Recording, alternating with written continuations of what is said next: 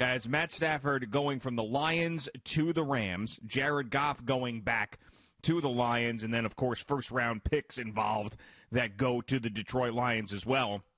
And the LA Rams now are in a situation where the last time they had a first round draft choice was 2016 with Jared Goff. And they're not going to have one again until I believe 2024 or 2025 uh, because of all the trades that they have made, either you know out of the first round or getting other players, and they are just not going to have a first round pick. But you know one of the things that I saw that I didn't necessarily like that was out there in looking at this deal was wow, the Lions got that for Matthew Stafford. What does that mean for Deshaun Watson?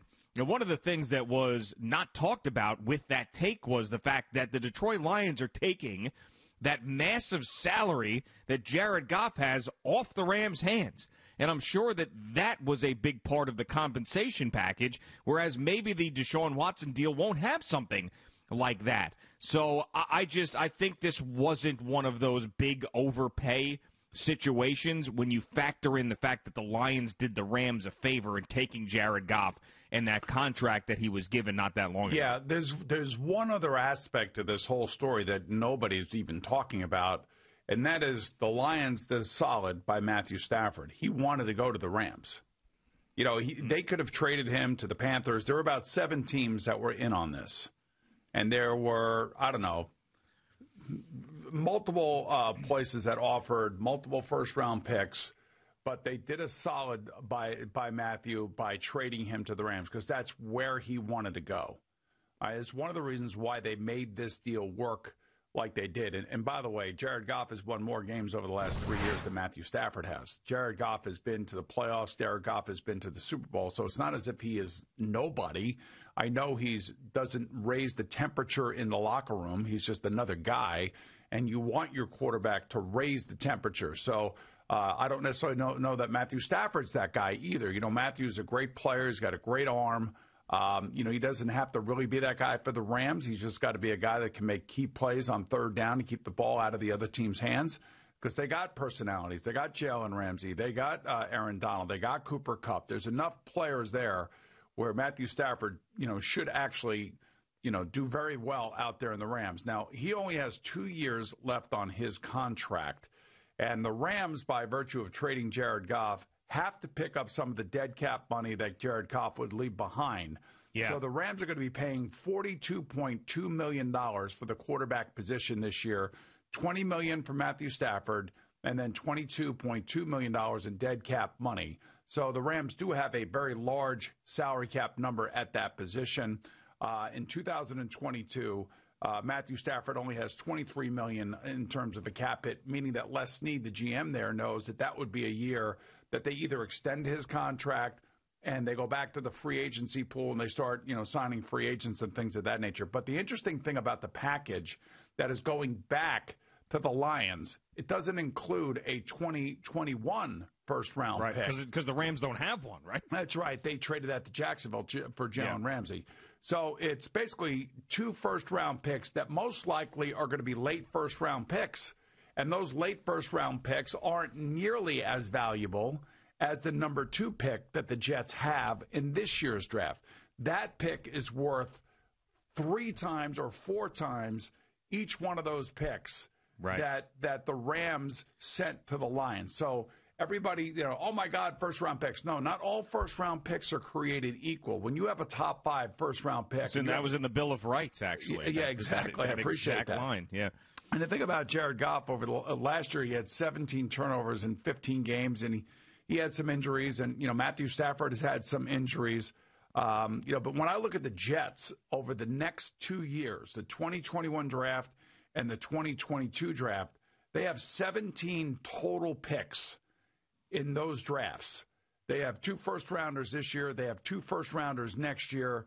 They have uh, a number of fifth round draft picks because of trades like for Avery Williamson. They have three six round draft picks in 2022.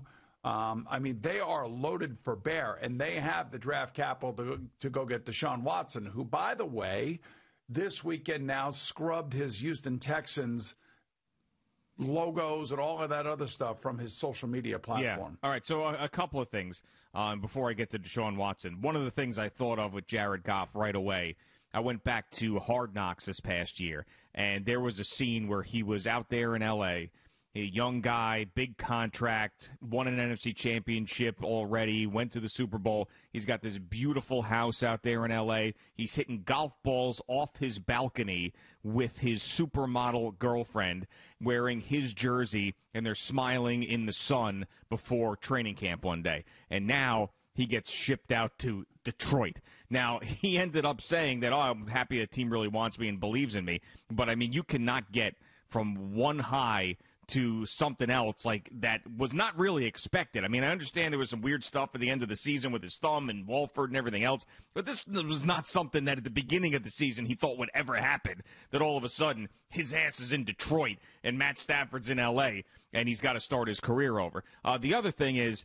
You know, Nick Caserio, in regards to Deshaun Watson, Nick Caserio, the new general manager of the Houston Texans who came over from New England, came out and said, We have no interest in trading this player, meaning Deshaun Watson. Does that mean anything? We have seen two examples in New York where it doesn't mean anything. Joe Douglas said he wasn't trading Jamal Adams. Dave Gettleman said he wasn't trading Odell Beckham Jr. Both those guys got traded. So I don't know if that necessarily means anything. It could also be a way to drive up the price because they know that they're going to have to trade him and trying to get some sort of leverage back to the Texans where you know someone comes along hey i know you're not interested in trading them but how about this package and then maybe ups it up or sweetens the pot a little bit but deshaun watson's going to go i mean i, I can't I'm, i do not see another route for him to stay there because the Texans aren't doing right by their organization if they just try to punish him there in Houston with the way that the rules are set up. Yeah, um, there's also one other aspect to this whole thing with Nick Caserio, and and we talked about this I think a couple weeks ago, and I'll, I'll continue to remind people that you know there's there's politics involved here. So, you know, the Texans don't want to look as if they're trying to get rid of Deshaun Watson. They want Deshaun Watson to, to continue to do what he's doing. Sure. And that's trying to force his way out. So when they ultimately do make the trade, you know, they can at least say to their fans, look, he didn't want to be here. And we ended up getting three first round picks, a player, and maybe even a third round pick. Who knows uh, what teams are going to be willing to give up? And again, I go back to the Jets and the Dolphins. They seem to be the two teams that have the most to offer. And if they wanted to take on a quarterback like, say, a, a you know a Tua Tagovailoa or a Sam Darnold, you know they could easily absorb their contracts because they're still on their rookie contracts. So it makes a lot of it does make a ton of sense for Houston to play the game the way makes they're playing. A ton it. of sense. Yeah, the, the play the game the way they're playing it from a PR standpoint and then let Deshaun basically implode this whole thing. So then they have no choice but to trade him. And then, you know, when they do get back a haul from whoever gives it to them, uh, then they'll feel like, you know what, we did the right thing. And I think the fan base will understand that they did the right thing. So, you know, saying all of that, here's one thing I do know about Deshaun Watson. We talk about, you know, raising the temperature of your, your locker room, raising the temperature of your team. You know, he, you know, to, to put it mildly, he is uh, a top five player in the NFL. He walks into the Jet locker room or the Dolphin locker room. He changes those teams immediately. And, and everybody looks at them differently. The players that play with him feel differently. Oh, the, the coaches, fans, coaches, the league, the, fan, everything, the marketing, everything. everything. everything. Yeah. So he, that's why he will be so valuable. And then once he gets into the locker room of the new team, if in fact they trade him, whatever they traded to get him – it's not going to matter because he is going to make them exciting and he is going to change the dynamic of the team. Thank you for watching. Please like, comment, and subscribe. And don't forget to hit the red bell so you're notified when we have new content.